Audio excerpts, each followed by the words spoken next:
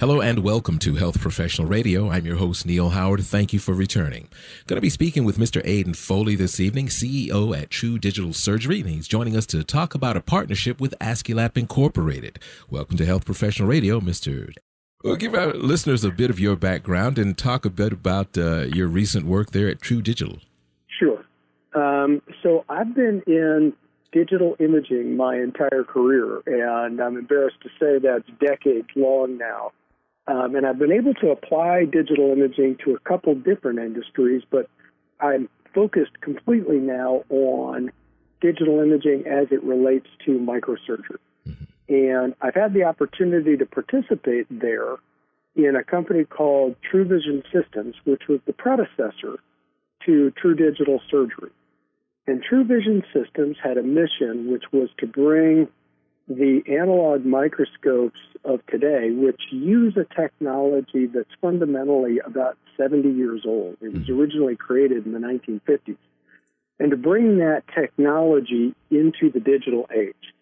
And so at True Vision Systems, we started out doing that, and, and our goal was to, again, just bring digital imagery to the surgeon so that they could see better. Mm-hmm. You could transcend the, the the capability of the human eye. And so when you're using the current analog system, you're, you're limited to the imagery that it can generate and the human eye. Digital imaging, as we all know, transcends that. Mm-hmm. And so we've been able to do that. In True Vision Systems, we sold that company to um, Alcon, and we're very happy about that relationship and that partnership. And it was very similar to the one that we have and enjoy now with Aesculap. Um, the similarity is that Alcon and Aesculap were our distribution partners. Mm-hmm. Alcon was in the um, ophthalmology marketplace, obviously. People would know Alcon very well there. And they were generous enough to put their name, it was called NGENUITY, on our platform and bring our products to their customers out in the field. Mm.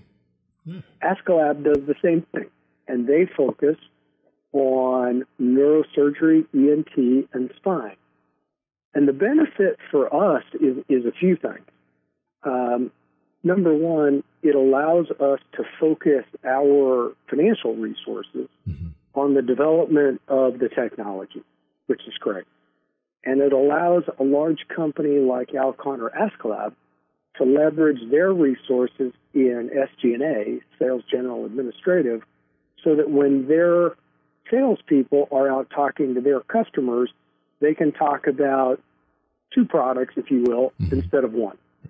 So we get leverage in terms of our financial resources in developing the IP, and they get leverage in terms of their SG&A. And it, I have to say, Neil, has I, I think a tremendous benefit to both parties. So we get to partner with a company like Aesculap that has, well, they've been around 150 years. Hmm. And they have a tremendous name and reputation, well earned, out in the industry. And they've got hundreds of salespeople and service and support people around the world. And so what that means to us is we get to market sooner and we get tremendous customer support in different parts of the world in different languages and all that that means through that partnership, which is great. And what I think it we're a benefit to them in is, as you know, some large companies, and, and forgive me, I'm I, I'm a I'll say this tongue in cheek. I'm a recovering big company guy too. so large companies sometimes have longer innovation cycles, product development cycles. Mm-hmm.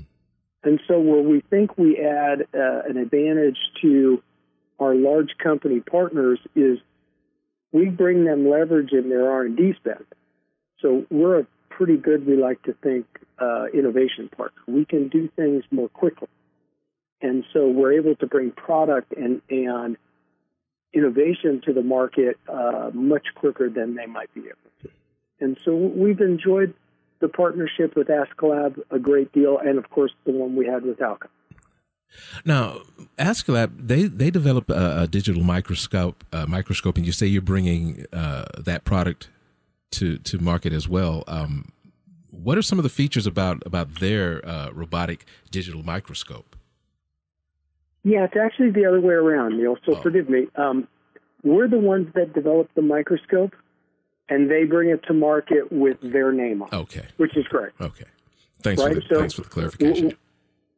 Yeah, my pleasure. Um, there are some things that are very unique about the product. Um, on the, I'm going to go through just a couple uh, big buckets. Mm-hmm. On the imaging side, one of the so I'll talk about imaging and robotics.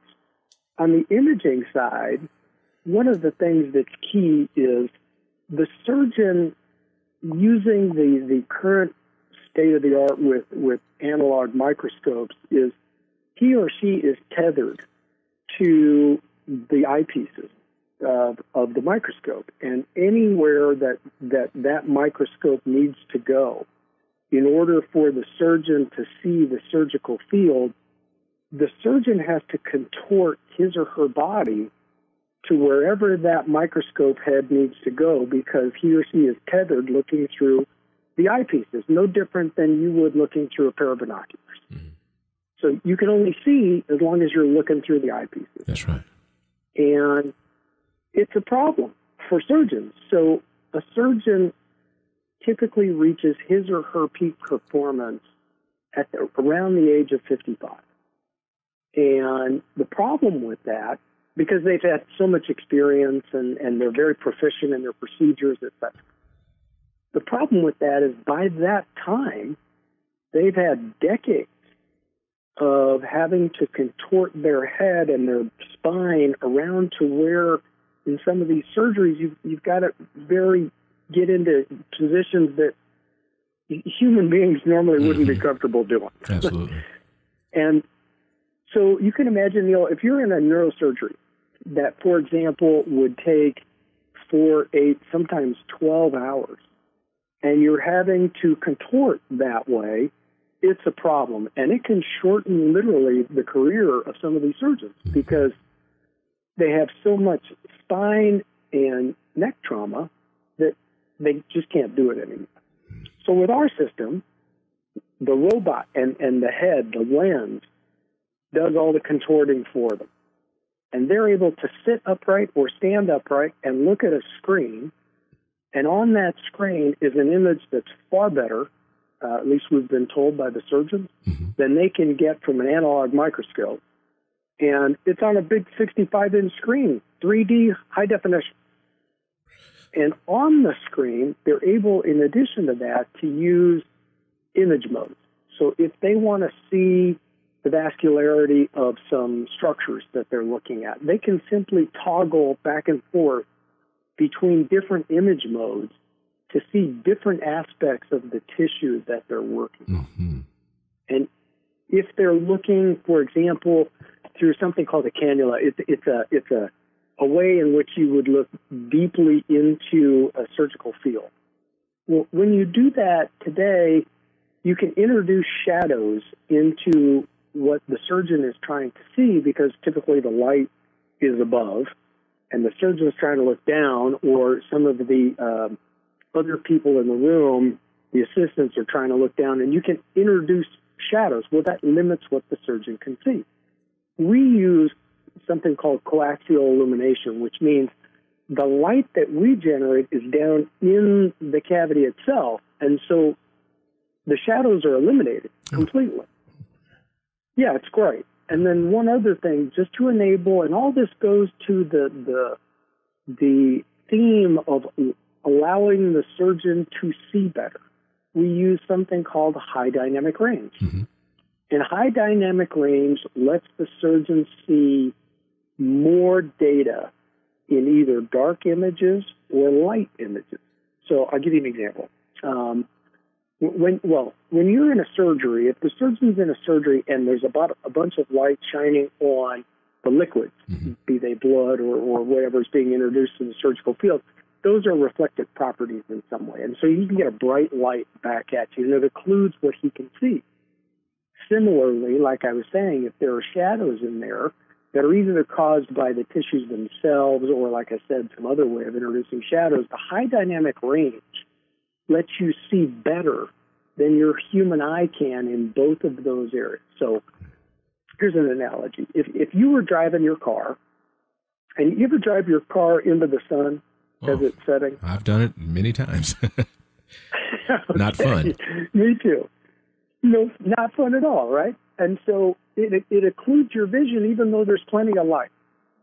So what high dynamic range does is it would it takes down the amount of light coming from the sun and it brings up the light coming off the road. So even though there's plenty of light, you're being limited as a driver in the road that you can see in front of you. And so high dynamic range allows the surgeon to see much more than he could from um, analog microscopes today in both dark and in bright light situations. So that's just a, a few of the things that we think makes us very unique. Now, we also, that's in, unto imaging. Onto the robotic side that I mentioned, there are a couple of key things that we do as well. Um, when the surgeon goes into a surgery, they, they obviously plan out the surgery. What, what we do is enable the surgeon, other than being able to just automatically let the robot contort to the, the angle that they want to see, the surgeon can also, with the robot, assign something called waypoints. And the waypoints are just pre programmed places that the surgeon wants the lens to be, wants the microscope to be as he's planning out or she's planning out that surgery. And it, the robot will just automatically go there. And then we have another feature, and again, this is, you know, digital robotics where it's locked to target. And the lock to target feature says, well, I want to focus on this aspect of the tissue uh, or this part of the, the surgical field. No matter where you move, the microscope, that target will always stay in focus. So that's a tremendous advantage for the Absolutely. surgeon. And he can use or she can use a 10x zoom on that lock to target. And the 10x is unique in the industry. Nobody else can do that. And in the 10x component of it, it'll still stay at full resolution. So he or she, the surgeon, will get on a lock to target, no matter what angle the robot goes to, he or she will see that image in a way you just can't see with an analog microscope. So we think both with digital imaging and robotics, we think we have some unique features we can bring to the market. Well, Aidan, uh, where can our listeners get some more information about uh, True Digital and about some of this uh, technology uh, that we've been talking about this evening? Boy, we'd be happy if people would visit us at our website, uh, and it's truedigitalsurgery.com. Appreciate that information, and uh, I appreciate you joining us here on Health Professional Radio this evening. Lots of great information. Hope we'll be speaking it's again. It's been such a pleasure. I'd look forward to that, Neil. Thanks for taking an interest in us. We appreciate it. Thank, you. you. You've been listening to Health Professional Radio. I'm your host, Neil Howard, in conversation with Aidan Foley.